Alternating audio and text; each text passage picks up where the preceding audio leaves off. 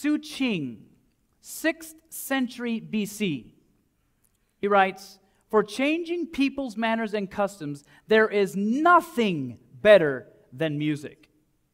In fact, you know what's amazing is that the Emperor of China, when the Emperor of China wanted to find out what was going on in a certain province of his, of his country, do you know what he would do?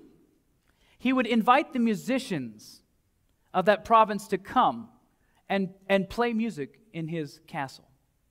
And the musicians had no idea. They were just thinking, wow, I get to go play for the king. And he knew by the type of music that was being played whether revolt was going to be incited in that province or if everything was going to be okay. So let me ask you a question.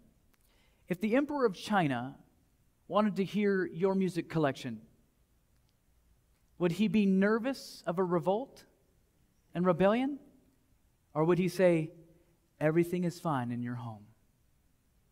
Do you get the point? What if Jesus said, let's bring up the iPods right now and plug them in, or the iPhones, or whatever device you listen to your music on? And we want to play it for everybody, right here, right now, in public assembly. Would we be nervous? Or would it be okay? Maybe we should ask that question after tomorrow, right? Because I guarantee you, what I've learned is that almost everybody, myself included, has some changes to make in our just our music choices. And so if God is convicting you and he's actually bringing you to a place to where you're starting to think go, wow, you know what? Maybe I shouldn't be listening to that. Well, you know, I'm, I shouldn't probably listen to that or whatever. If the Holy Spirit is at work, when should you make the decision to delete it? Right now. And then when do you delete it? Tonight, immediately when you get home, because you know, you just might not be the same person tonight that you are right now. You're being spirit led, Holy Spirit fed, and you're saying, Wow, I really want to make these changes. But yet you go home and maybe tomorrow morning or maybe Monday morning you put it off. Before you know it, the old stinking thinking comes back. Is that true? So you make the choices now. And there's never anything wrong with making the right choice for God. Amen? If you have questions, you're not sure, that's okay. Let it lie. And say, Lord, I open myself up to you to change whatever doesn't please you. Aristotle observed that music directly imitates or represents the passions or states of the soul gentleness, anger, courage, temperance, and their opposite and other qualities. If over a long time he habitually listens to the kind of music that rouses ignoble, that means dishonorable, base, vile, or unprincipled passions, his whole character will be shaped into an ignoble form. 340 BC. So, what I'm sharing with you is really old information. It just hasn't been distributed very well. Keith Richards, he shared how he received songs. He's a, a rocker in the 60s, 70s, and, and 80s. He said, Songs, yeah, they think you wrote it. Really, you're just a medium, like being at a seance.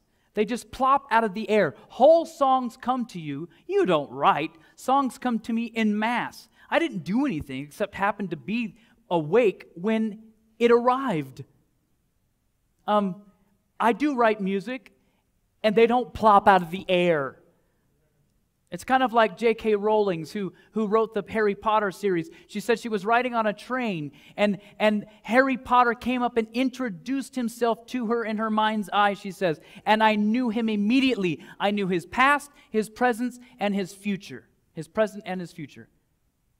Why? How? Because it was coming from the devil. And these, these rockers are getting these songs in mass. Morrison of the Doors, Jim Morrison, he said he's actually a, a self proclaimed shaman, and he's known for his exploration of mysticism through his lyrics. He too said that he received songs in Mass, and he would see the whole concert in his head and just write the words to the songs. Crowley is pictured on the cover, excuse me, is pictured on one of their albums as well. Now, Crowley has been, Aleister Crowley, has been an influence for a string of popular musicians and some of the other artists who openly admit, in, uh, on top of Jim Morrison, uh, that they are Crowley followers. One group was called Iron Maiden, another group, Led Zeppelin, David Bowie, Sammy Davis Jr. I didn't, and Mick Jagger and Sting. So many of these, these people, and of course Ozzy Osbourne, and many, many more. We're just picking out some large ones. So what happens is these people believe in this. But you know, Aleister Crowley died a long time ago. But there are those who picked up the torch. Anton LaVey picked up Crowley's torch and established the official church of Satan. He wrote the Satanic Bible. And you'll notice back here, you'll notice this symbol back here. It's also on the Satanic Bible. This is actually an occultic symbol. It's actually, you, it's, it's right in here is called Baphomet, by the way, which is a goat. You can see the horns up here, the ears coming down, and the chin in an upside down star or pentagram. And you're going to see these goats and these demonic symbols and the all seeing eye and the pyramids and all the stuff starting to come in as we progress. Anton LaVey promoted a lifestyle of self indulgence. Here's what he say, states desires were meant to be fulfilled. Another statement he has, he says, There's a beast in all of us that needs to be exercised, not exorcised. In other words, he's saying, Embrace your beast and make him buffed. In other words, feed the carnal dog and starve the spiritual dog. In the Washington Post, LaVey stated, Satan is a symbol Satan signifies our love of the worldly and our rejection of the pallid, ineffectual image of Christ on the cross. I mean satanic in the sense of a philosophical concept, a, a realm or a state of being that would be best described as a lifestyle, an outlook, an, an attitude. And friends, we are adopting their philosophical views. They think that desires were meant to be fulfilled. They say if anybody comes and starts to take anything from you, destroy them. These are part of their tenets of what they believe. So Crowley's do what thou wilt is the whole of the law is actually the church of Satan's official philosophy and doctrine. So in essence, Anton LaVey is only carrying the torch that Aleister Crowley once lit, which was lit by the prince of fire, if you will, Satan himself. So Satan influences Crowley, Crowley influences Anton LaVey, and therefore the official church of Satan is established. Satanists use a pentagram with the two points up, often inscribed in a double circle, with the head of a goat inside the pentagram. And like I said, this is actually referred to as the sigil of Baphomet. They use it much the same way as the Pythagoreans as Tartarus, literally translated from the Greek as the pit or void. In Christian terminology, the word is used in such in the Bible, referring to the place where the fallen angels are fettered. The Greek letters are often replaced by Hebrew letters, forming the name Leviathan. So you'll see around here these different letters around the Baphomet symbol here are actually Hebrew, and it means Leviathan. It's a, it's a sign of rebellion, of religious identification. And the three downward points symbolize the rejection of the Holy Trinity God the Father, Christ the Son, and the Holy Spirit. So uh, there's so much symbolism in this, and they know exactly what it means. What's sad to me is that there are people that walk around with goat heads on their t shirts, and some of them even are Christians. They don't even understand these pagan and satanic symbols. Uh, LaVey says, Let's get them to the place where they forget their logic and just do what thou wilt. We need to get people to where they're not thinking about it anymore. They just do it because it feels good. They want to do it. Frank Zappa, he was quite the rock and roller in his time.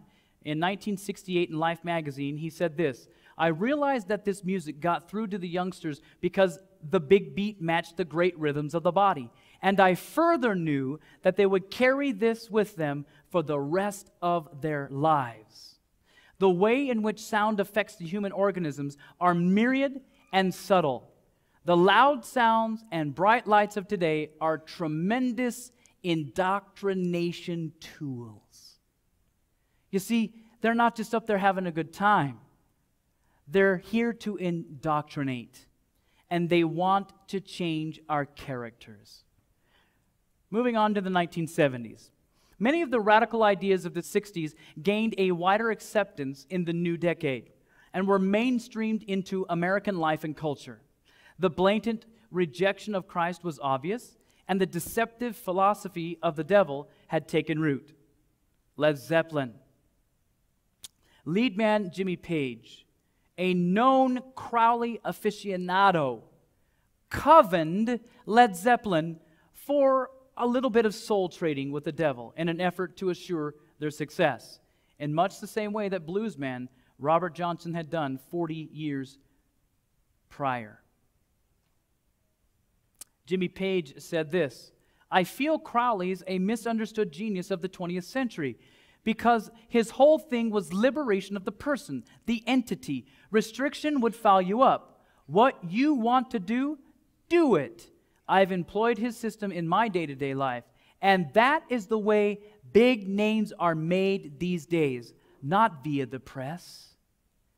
So, what, what he's saying here is in order to be ultimately successful, and not just a little blip on the radar of, oh, they were successful for a year or so, but to really have this tremendous staying power and be amazingly successful in the industry, the music industry, the entertainment industry, the way big names are made, according to those who are big names, is that you make a deal with the devil. That's what he just said. Not via the press. It's not if you throw enough money at it. It's because you make a deal with the devil. Have you ever wondered how did that guy or how did that girl, how are they even that big? They don't even sing that well. Have you ever thought that? Well, gee, I wonder. Didn't say talent required. It just said, be my loyal subject and I'll make you something, the devil said. That's all. You know, here's another thing the devil's only going to allow those that he believes will be his greatest evangelists and not turn their back on him. So he doesn't bless everybody with all of this. He takes the ones that are going to be his special tools that he knows he's got them hook, line, and sinker. And then he'll sink a lot of money, invest a lot of time in those people to grow them. Does that make sense? Led Zeppelin's Stairway to Heaven. The most requested rock song of all time was hailed as one of the greatest satanic works ever. Robert Plant, a member of the group, he said he was given the song by automation. Have you seen a thread here? That a lot of these big bands, a big groups, and, and massive stars have been given this stuff by automation. It just comes to them. They hear it, they see it, and they write it down, and it's done. Is that inspiration coming from God? You shall know them by their fruits, friends. And if the music is leading you to drugs and alcohol, premarital sex, and, and, and uh, just a flippant attitude of, of lack of responsibility and rebellion, that is not of God. Amen? That's not the source of this. God would not say, don't get into rebellion and then create rebellious music. It doesn't make sense. The Beach Boys.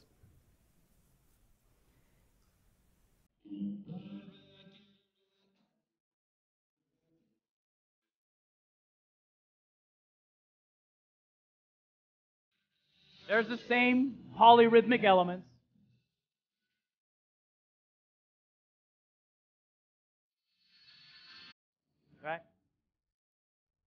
And when I found this, I was like, are you kidding me? Because I tell you what, I used to really like the Beach Boys.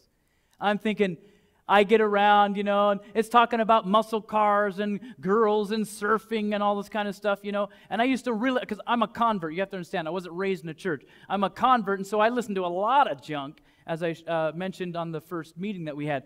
And the fact is, I, I used to love this kind of music because it was just kind of fun and a little more happy. And then I, as a Christian, as we started investigating all this, and I heard that clip, I'm like, oh, I get around? Do you think he's talking about cruising? No, he's, he's talking about I'm making a lot of inappropriate choices with women and I get around.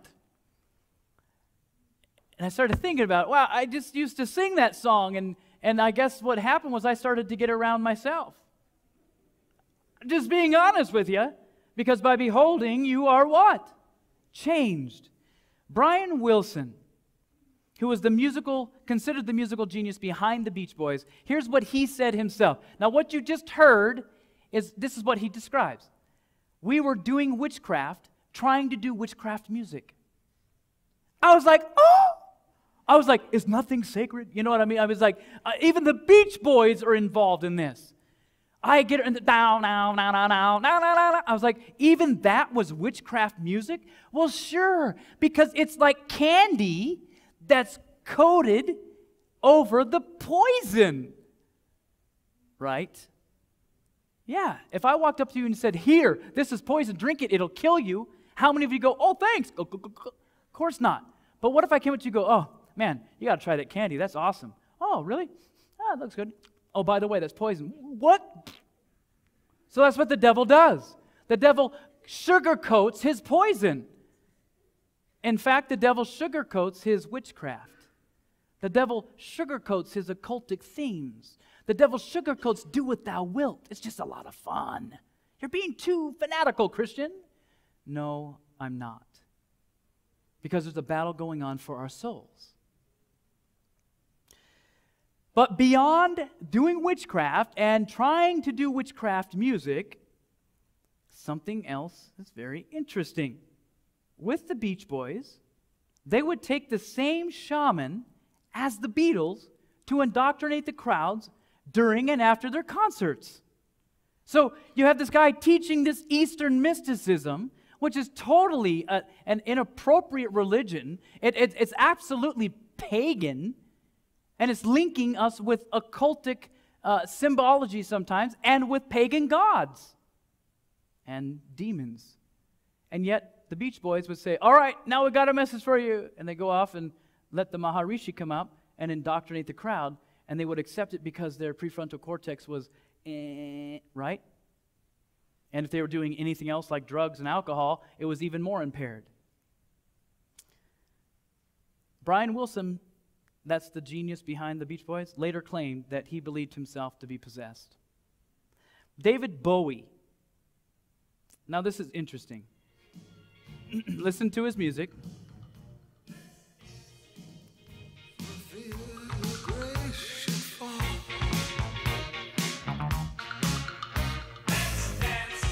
You get that whole.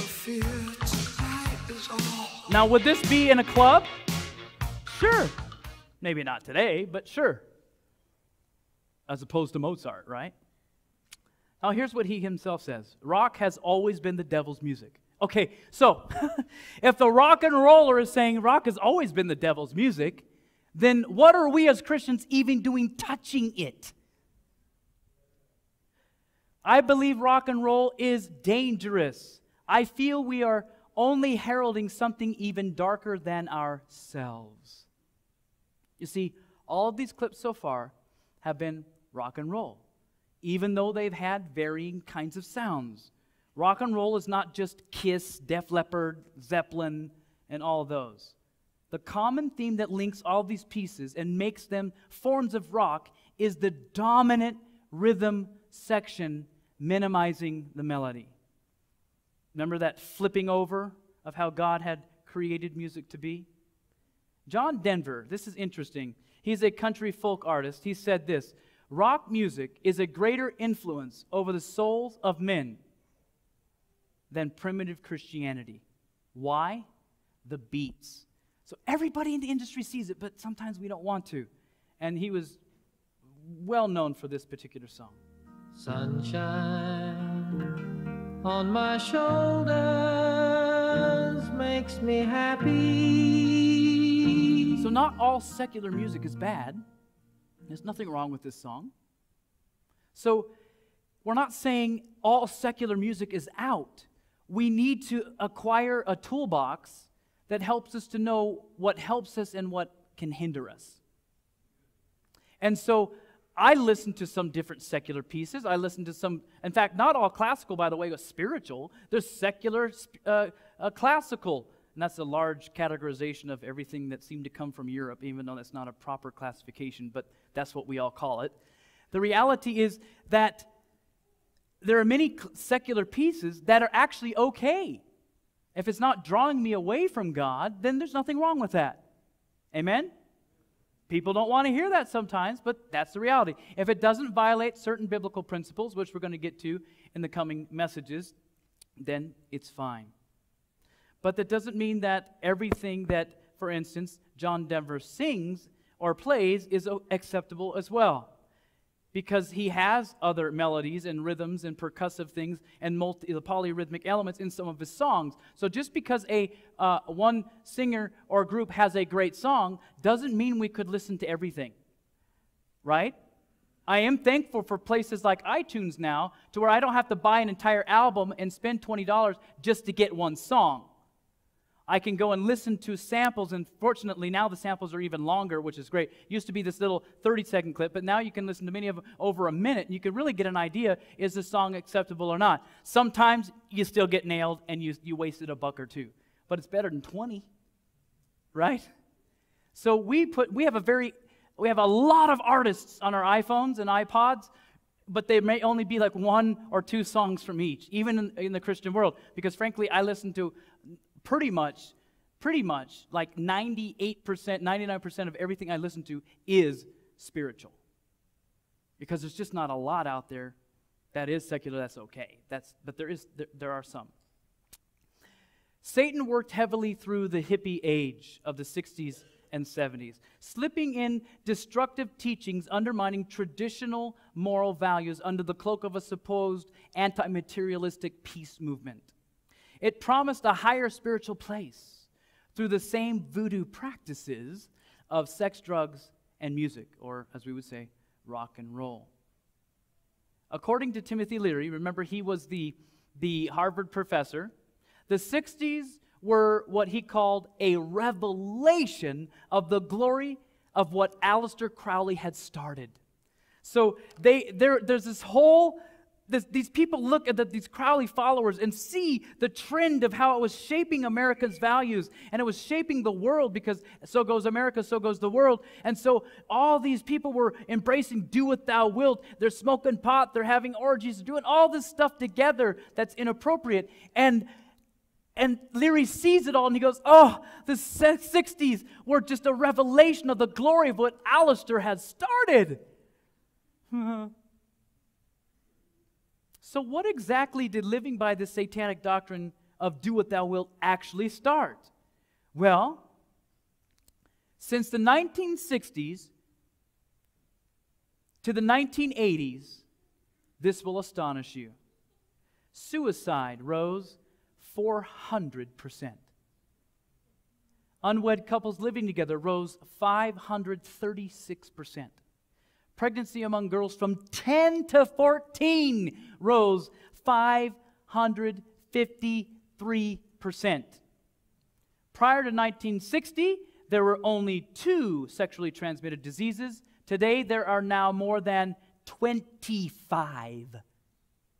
So, free love gave us a whole bunch of nastiness.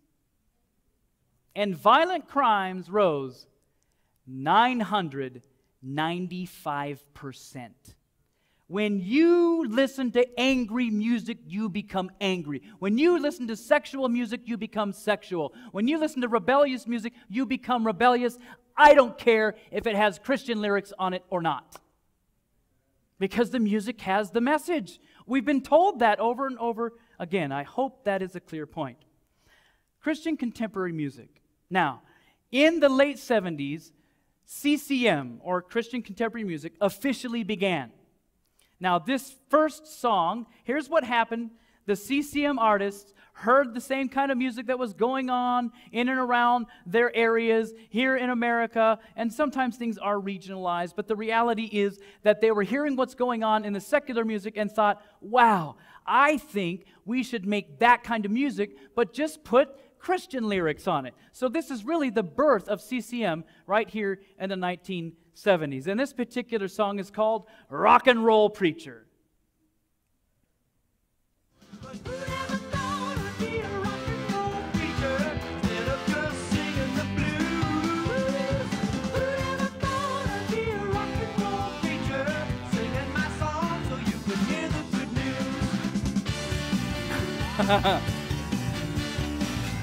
Does that sound like 70s music? Absolutely. And then here's another song Loves You Like a Rock.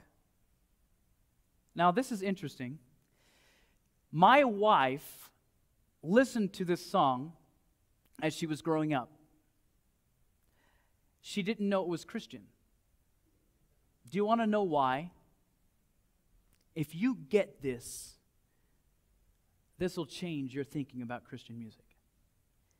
Because spiritual things are spiritually discerned. What's a rock to a secular mind? It's not Jesus Christ, because spiritual things are spiritually discerned. In fact, what's amazing is when we were putting this seminar together and Kobe heard the song, she was like, oh, never knew that was a, a Christian song. Yet she knew all the lyrics. And the moment it started playing, she could sing the whole song. Boom. Why? Everything's perfectly recorded. But you know what?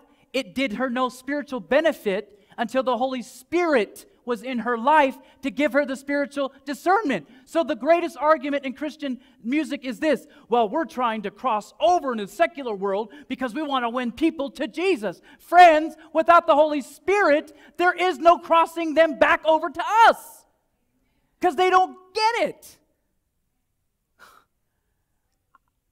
Yeah, they like the beat, liked how it made you feel, and here's the song.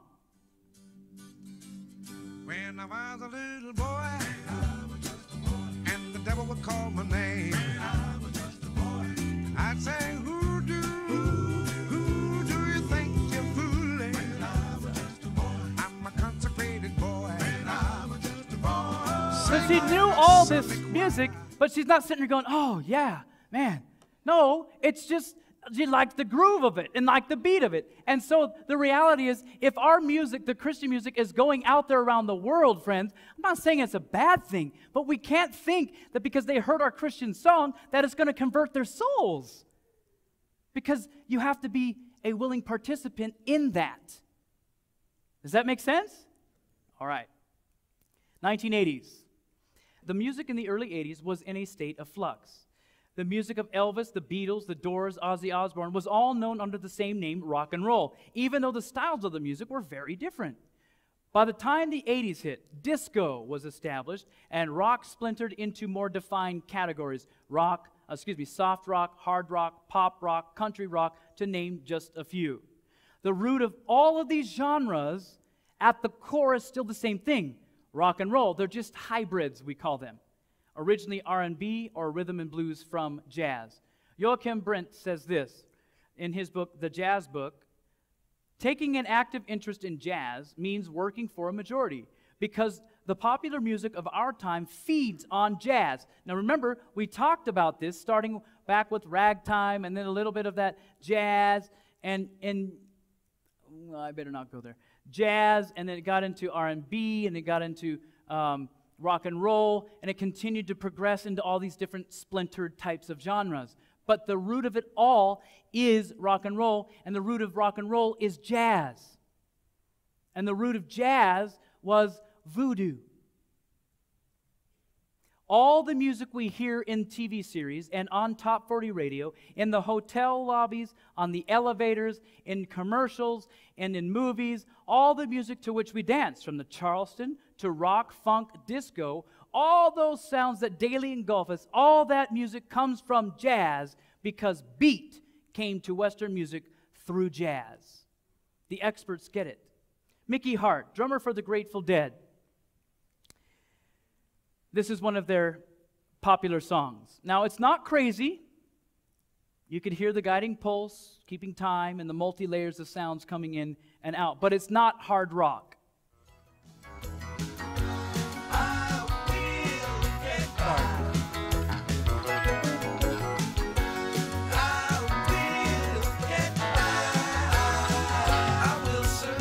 Now, one of the challenges of playing secular songs, especially now that we get into genres or, excuse me, ages that are closer to most of us in this room, is it could call up different memories for you. And just pray against that if they're not godly ones, okay? But we need to continue down this vein. And I apologize, Krista. Here's what he said He has studied drums and their power all over the world. He is a known and respected expert on drums. And here's what he states Everywhere you look on the planet, people are using drums to alter consciousness. That's the point. Drumming inappropriately alters consciousness. We may not want it. No, no, that's not true. But yes, it is. Whether we like it or not doesn't change that. Amen. Amen? I have discovered, along with many others, the extraordinary power of music, particularly percussion, to influence the human mind and body. There have been many times that I have felt that the drums have carried me to an open door to another world. Oh, he's right, as we've discovered already. It's hard to pinpoint the exact moment when I awoke to the fact that my music, my tradition rock and roll, did have a spirit side.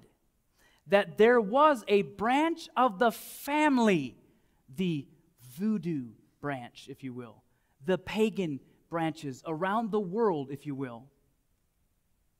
There was a branch of the family that maintained the ancient connection between the drum and the gods.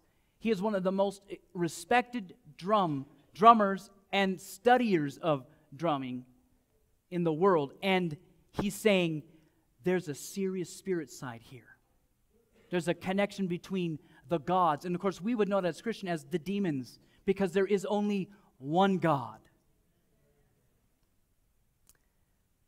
In an article entitled High Tech in the Low Frequencies, DJ is actually reporter Jason Sneed wrote about the huge club DJ scene. And here's what he says about one DJ.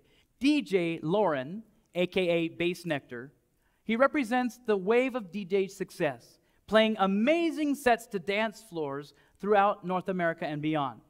Bassnectar's shows have the future primitive feel of all out revelry resulting from the tribal unity of audience involvement. And now that was quite a sentence. And what it's saying is this is getting to be real tribal and it causes everybody to have some unity in the clubs. Now, I'm going to play a, uh, I'm going to play a clip for you. Now, you'll remember this particular clip. Now, this is going to amaze you. This was original voodoo that we played earlier. You remember that clip, maybe? Okay.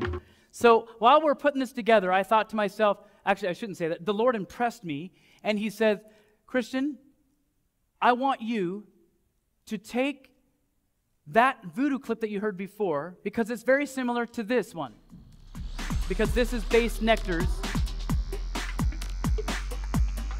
popular music in the dance clubs. So what he said was, why don't you put it in your, your software? I have a software a, a uh, software program that I use called Pro Tools, and, and you can put different tracks in there. So I have one track playing this voodoo clip. He said, bring in the other track and put them on top of each other. And guess what? They matched up perfectly. It was unbelievable to me. Old voodoo.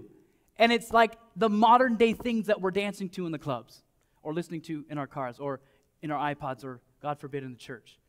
So imagine my surprise when I heard this. And I'll point when the voodoo drums come in.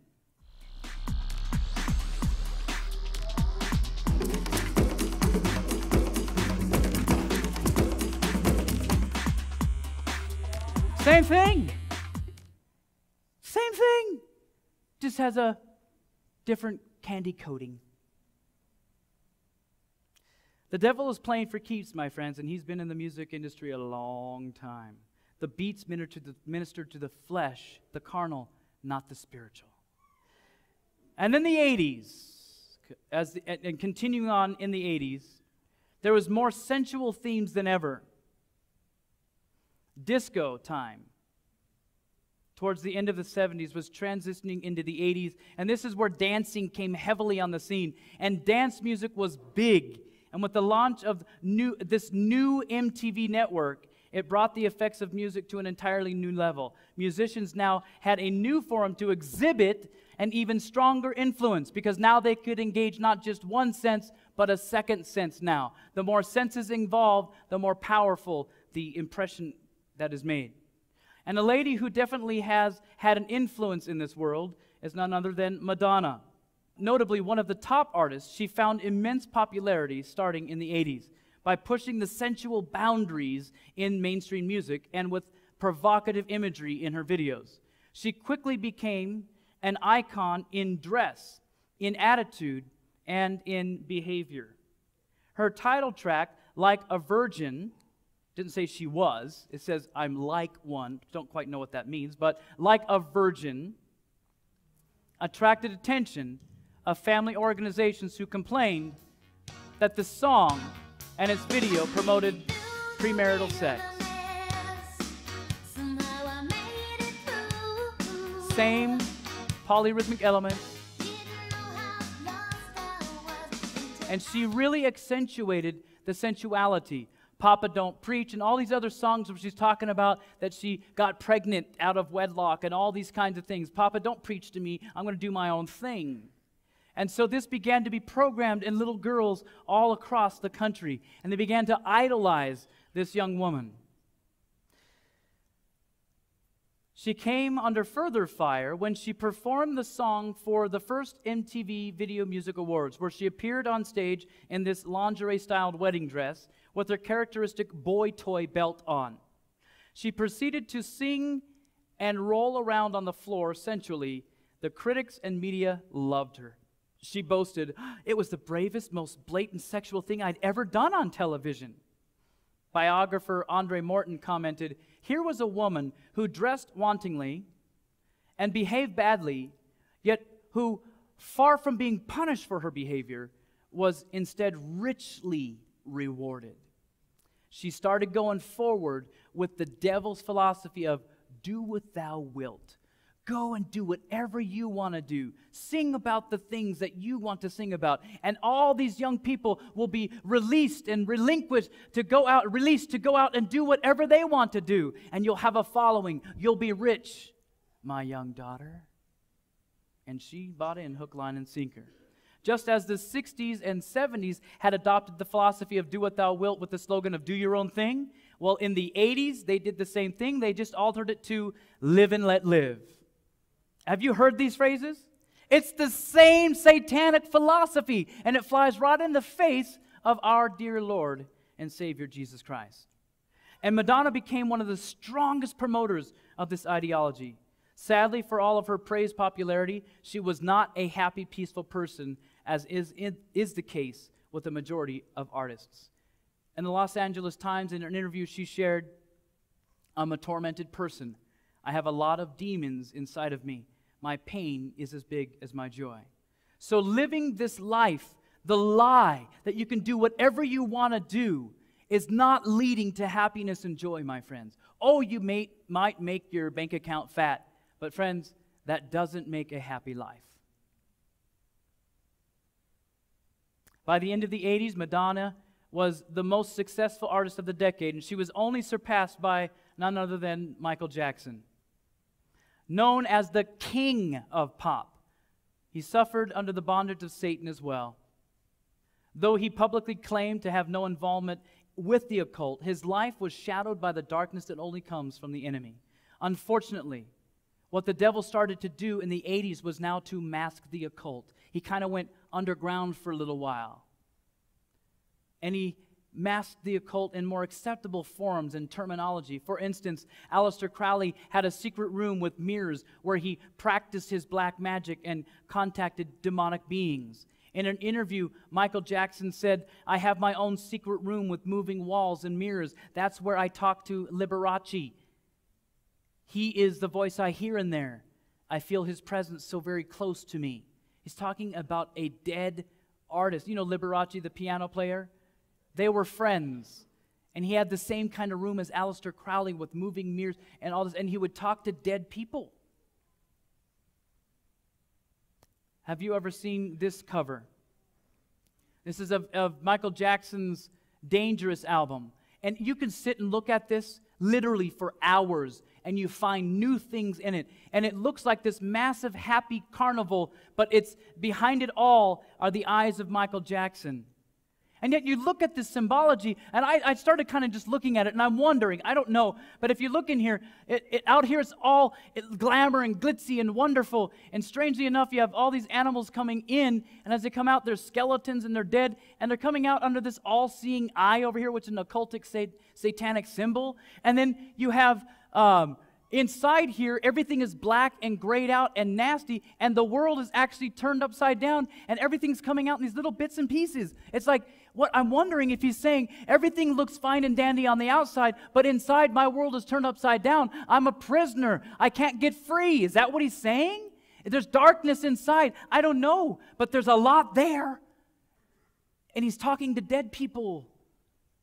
He also shared, I wake up from dreams and go, wow, put this down on paper. The whole thing is strange. You hear the words, everything is right there in front of your face, and you say to yourself, I'm sorry, I just didn't write this. It's there already. I feel that somewhere, someplace, it's all been done, and I'm a courier bringing it into the world. Automation. About his concerts, he says, When I hit the stage, it's all of a sudden a magic from somewhere that comes and the Spirit just hits you and you lose control of yourself. During an Oprah Winfrey interview, Michael Jackson explained the reason for some of his filthy sexual gestures during his concerts. And friends, I, I used to love Michael Jackson. I used to dance like Michael Jackson. I used to moonwalk and ooh, and all the stuff that he would do. And in fact, I look back at it now and I go, man, that guy was grabbing his crotch and doing all this stuff right there in front of all these little kids. And I was one of the little kids going, oh, I want to do that too. Ooh. Unbelievable. So I just became a little Michael Jackson follower, becoming an Al- Aleister Crowley follower, and I didn't even know it. Do what thou wilt. But that's how the devil works. Now, why are we going over this? Because, friends, you're tuning your ears right now and you don't even realize it. Because when we jump into CCM, you're going to go, that's the same stuff. Exactly. It happens subliminally. It's the music that compels me to do it. You don't think about it, it just happens. I'm a slave to the rhythm. I was wondering, you know, if, if you could keep on because the force, it's got a lot of power in it. Do you hear a motive in the song, the music? It, it makes me feel like. Right?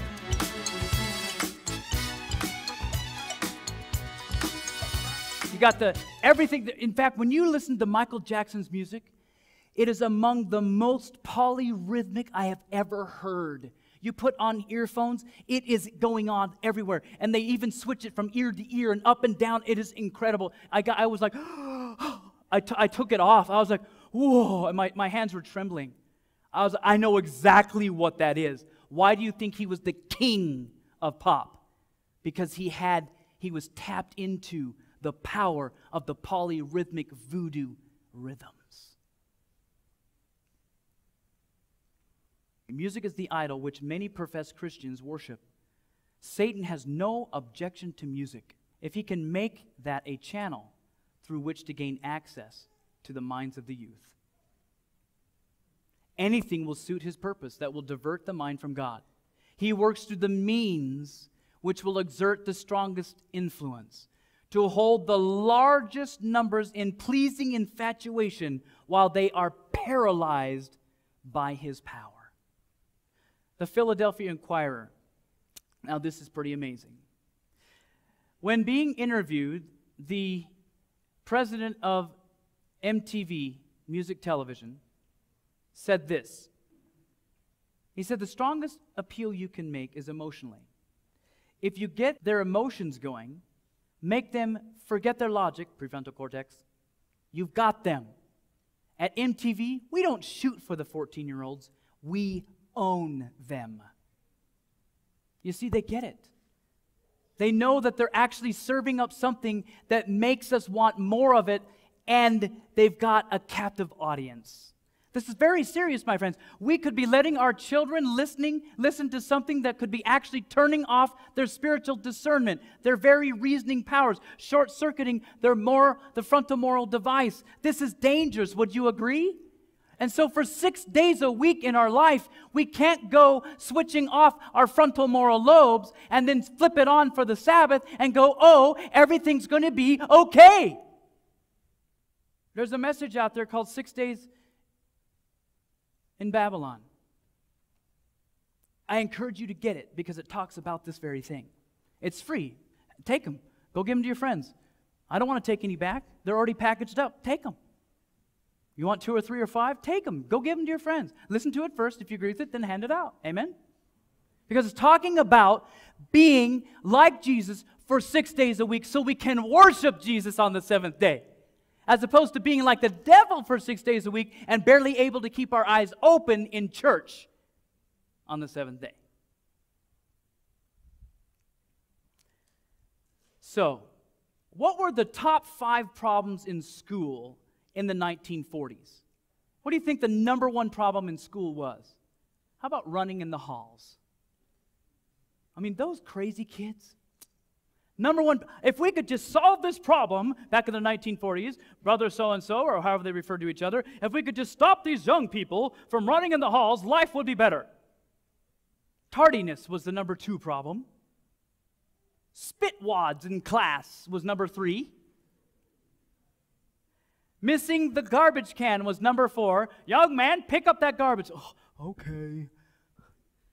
Today, it's like, pick up that garbage. No, ba ba ba ba bam. You know, anyway. Number five, chewing gum. So these are the top five problems in the 1940s. How about the 1980s? 40 short years later, 40 years of Crowleyan philosophy. That's all, just 40 years. Number one, murder. Number two, theft. Number three, rape. This is high school. Number four, drugs. Number five, alcohol. I think I would have liked to live in the 40s rather than the 80s. And I lived in the 80s. Now, in the 1980s, contemporary Christian music. Again, let's listen real quick to get an idea of what some of the top CCM songs were from the 80s. Now, tell me that this doesn't sound like something from the 80s. It's called I Want to Be a Clone. No, I'm sorry. Uh, first one is Ready or Not. So eye, sky, Does that sound like 80s?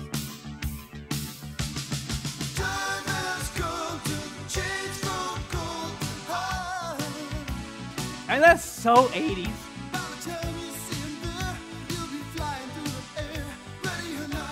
You know what that is? That is rad. No, it's not. Just kidding. now, here's the other one I want to be a clone. I'm grateful that they showed the way, cause I could never know the way to serve him on my own. I want to be a clone.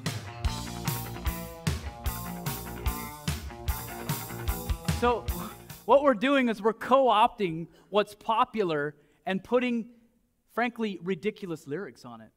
But that's Christian music. Mm, no, it's not. It's called that. Moving into the 1990s. More choices than ever were available in music. With all the diversity, though, there were three fundamental things they all had in common the do what thou wilt philosophy, overtly sexual content, and heavily accentuated beats and rhythms. In addition to this, homosexuality now begins to be pushed. And grunge took over heavily in the early part of the decade. And with the band Nirvana at its head, we can see the same spirit working. Kurt Cobain, the lead singer of Nirvana, and this is they were a grunge band in the 1990s. He said it was his personal goal to get stoned and worship Satan. And his reports reported that he was obsessed with Anton LaVey. And I'm, I'm sad to say that I actually used to listen to this band and I used to really like it. In fact, I was for a while a photographer with one of the companies that I had, and I would crank up this music and be taking all these photos of these models and things going on. And, and it was, you had to have certain kinds of music going on to get those provocative photos.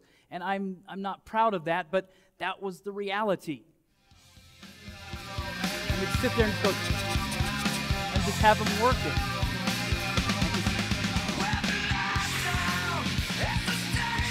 And I loved it. And I would just get into it. And it took over. And I'm not proud of that. Into the, ni- the late 90s, LaVey is still alive and well, which means Crowley is alive and well.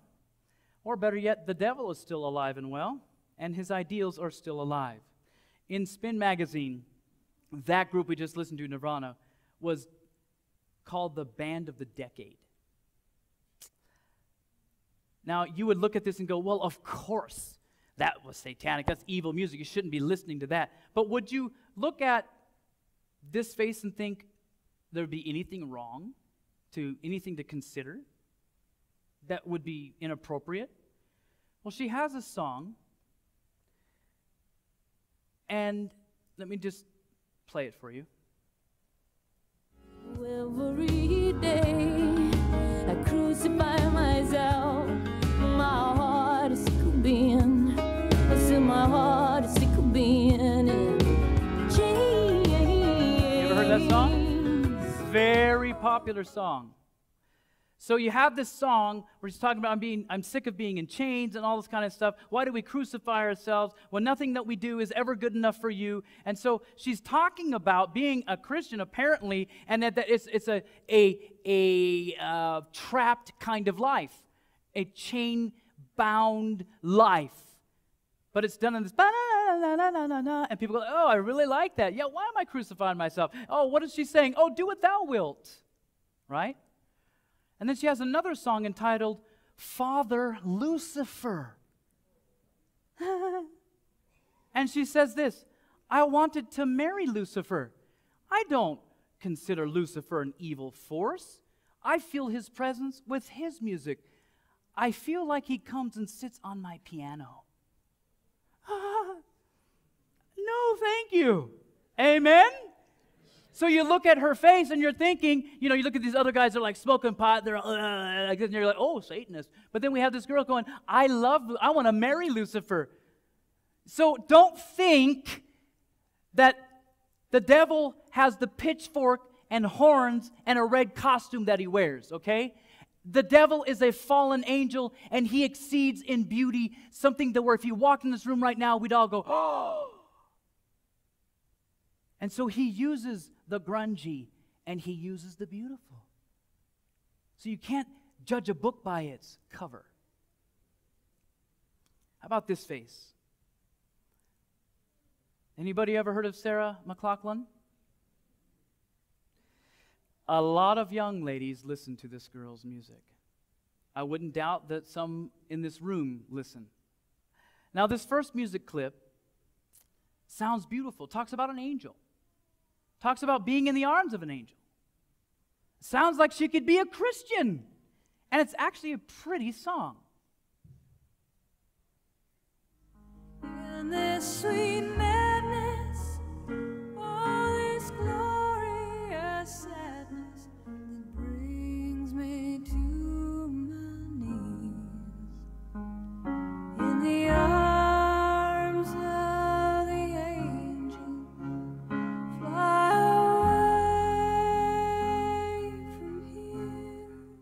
A couple things in the vocal technique that we'll get into later.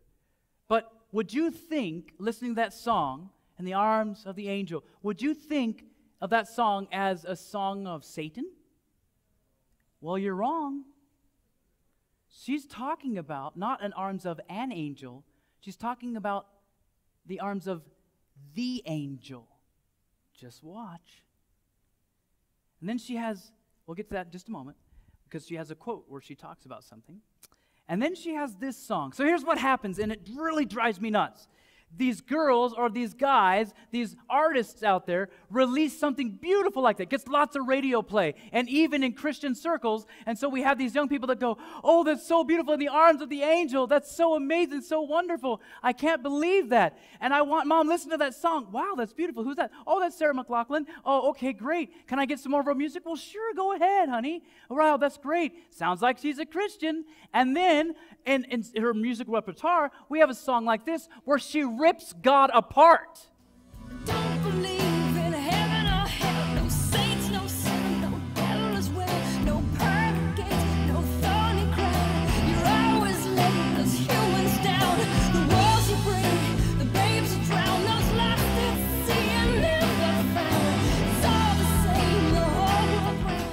So she talks about, I don't believe in no pearly gates, no thorny crowns. You're always letting us humans down. The babies you drown. And, and she just goes and she's ripping God apart.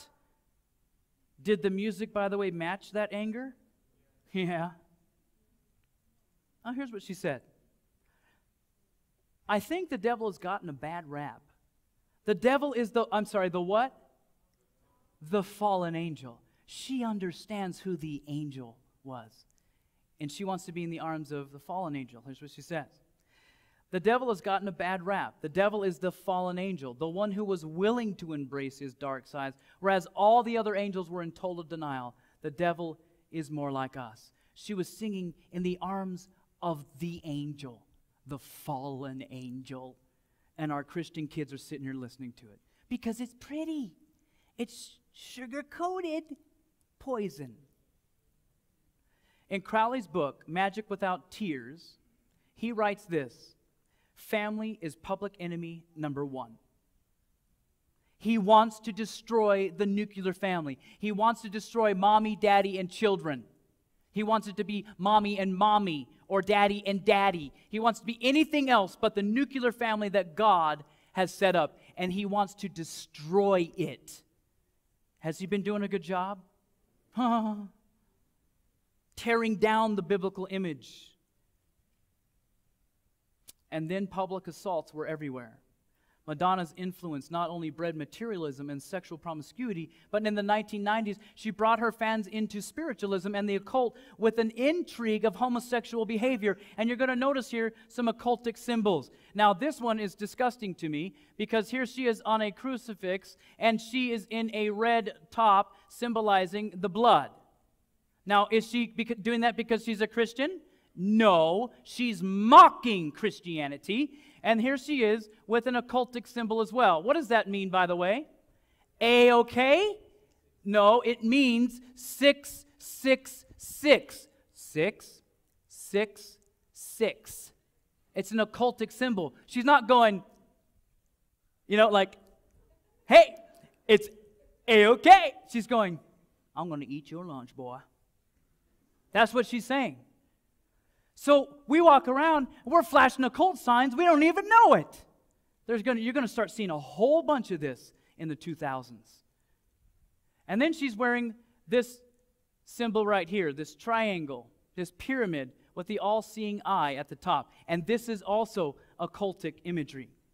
Harry Hay, a Crowleyan Satanist and the founder of the modern homosexual movement, yes, that's a man, he said, this language, music, has the power to communicate ideas, plan, and issues through the form of songs and dances under the noses of the authorities. So he knows he can use music, and the homosexual agenda can be pushed forward through music. And that's why we're starting to see all of this sexual, homosexual imagery all over MTV. Music always had the power to inspire revolt and revolution. To two thirds of the world today, music is a language, a method of communicating, organizing, and mobilizing. And let me tell you, the homosexual agenda is organized, communicating, and they're mobilizing. I'll tell you that right now. So, we will see this to be true as we continue on. Now, let's look at these lyrics for a moment. And what do you think about these lyrics when you look at them? Your own personal Jesus, someone to hear your prayers, someone who cares. Is there anything wrong with those lyrics? No. Jesus wants to be our own personal Jesus. Amen? Someone that will hear our prayers, someone who cares. That indeed is God the Father and Jesus Christ the Son. Amen? There's nothing wrong with those lyrics. Now, let's take a listen to a music clip. Own personal Jesus. Someone to hear your prayers. Someone who cares. Okay, so is there anything wrong with that music? Oh, there is? Oh, you're being you're educated. Praise the Lord. Yeah, because the music bed didn't match the lyrical content, right? Right. Okay. So it's a house divided against itself. It can't stand. So the challenge is we could say, no, I'm making music in my heart to the Lord. My heart belongs to the Lord. I've got good lyrics. I'm just playing the music the way that I want to. But, friends, the problem is, even beyond all of this, now see, if I had put someone's nice little picture up there and they're in a little suit and they're in their little tie and they have, you know, nice hair and everything and they're going, and they sang that song, you go, wow, that guy sang that? But when I put Marilyn Manson's picture on there, you go, oh, he sang that song. Oh, that's evil. Are you following here? Because we could use the same exact music bed with those lyrics by a Christian band and we would say it's okay. But not Marilyn Manson because he's of the devil. Well, guess what? The devil serves up two plates. Right? That's right. In fact, that was just a remake of the 80s Depeche Mode release. It's not a Christian band, and those were not intended as Christian lyrics. Lyrically, it sounds like a Christian song. So if the lyrics only matter argument stood, then we could be able to listen to it. If my heart's for God, then I can attribute all of this music to Christ, and it's acceptable now for me. We have no problem saying no to this. How hypocritical is it of us as parents to say that our young people cannot listen to Marilyn Manson, but they could listen to a Christian version of Marilyn Manson? Doesn't make sense. And this is why some of the Christians are going, you know what? You just don't make any sense, mom and dad. Because if it's not okay for Marilyn Manson to play that music and for me to listen to it, then why is it okay for me to have the Christian version of it? All we've done is baptized paganism. Marilyn Manson is an ordained reverend in the Church of Satan, mutilates himself on stage, rips up the Holy Bible, spews blasphemies against the Lord Jesus Christ, and Manson t shirts declare, Kill your parents and I love Satan. So, why talk about this guy? Because, friends, when we sent out our Facebook request, hey guys, you Christian kids, you Adventist kids, what are you listening to? We had far too many respond and say, I listen to Marilyn Manson. I'm telling you, it's the truth. Why are we talking about them? Because maybe our young people are listening to him, or maybe our dorm, dorm mates or our roommates are listening to him, or our friends are listening to him, and they're wanting to introduce our children to him. There is a strange fascination with this guy. He has a t shirt, by the way, that he sells and it says this on it, and this is a picture of the, of the t shirt. Warning the music of Marilyn Manson contains messages that will kill God in your impressionable teenage mind. As a result, you could be convinced to kill your mom and dad. And eventually, in an act of hopeless rock and roll behavior, you will kill yourself. Please burn your records while there's still hope. Kids buy this thinking it's hysterical and they put it on and wear it around because Marilyn Manson mocks people like me that say this is a problem. The reality is, my friends, Marilyn Manson, Manson is just a disciple of the devil. He is well funded and he holds evangelistic crusades all the time. They just happen to be called concerts. but it's just music, isn't it? Well, he's quoted as saying this music is the strongest form of magic. Does he have an agenda? Hmm. I don't know if anyone has really understood, this is a direct quote, what we are trying to do to lure people in. And once we've got them, we can give them our message. Hopefully, he says, I'll be remembered as the person who brought an end to Christianity.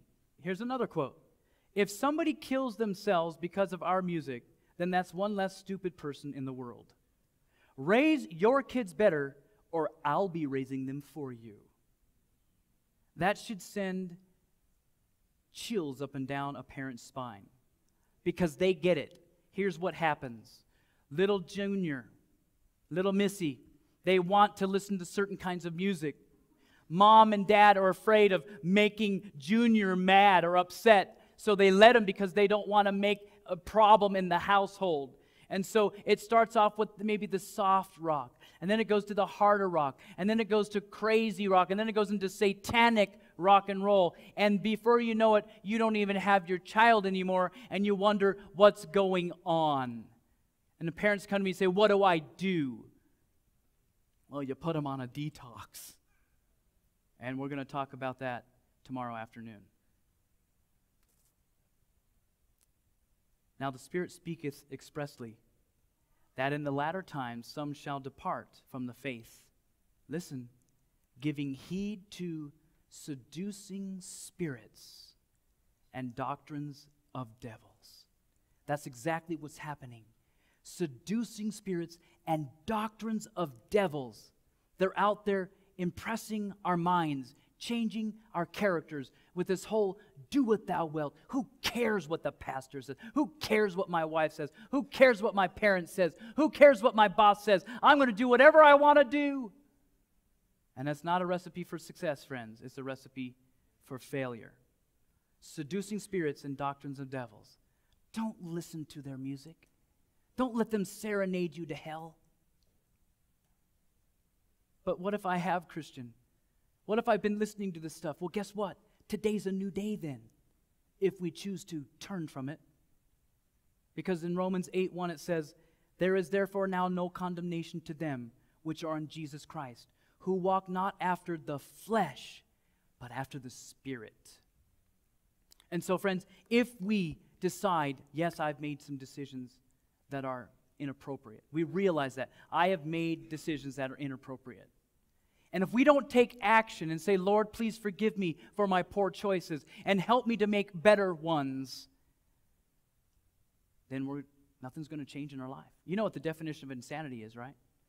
It's doing the same thing over and over and over, expecting different results. How many times Christians come up to us and say, I just don't feel like, you know, I'm connected to God. I just don't feel like my prayers go above the, the ceiling in my, my house. And I just, there's just no connection there. And then I begin to ask them questions about their daily life. I begin to ask them, what types of things do you engage in? What do you listen to? How much Bible study time do you have? How much time are you spending in the Bible and spirit of prophecy? How many, how much time are you doing? How, and then you start to realize that the time that we spend with God is actually down here, and the time we spend with the world and the devil is up here. No wonder there's no connection. But God says, Look, if you walk not after the flesh, but after the Spirit, there'll be no condemnation. I'll forgive you. It's okay. So we go to God and say, Lord, forgive me. I made a poor choice. Help me from this moment on to make better ones. Amen. Don't let the devil seduce you.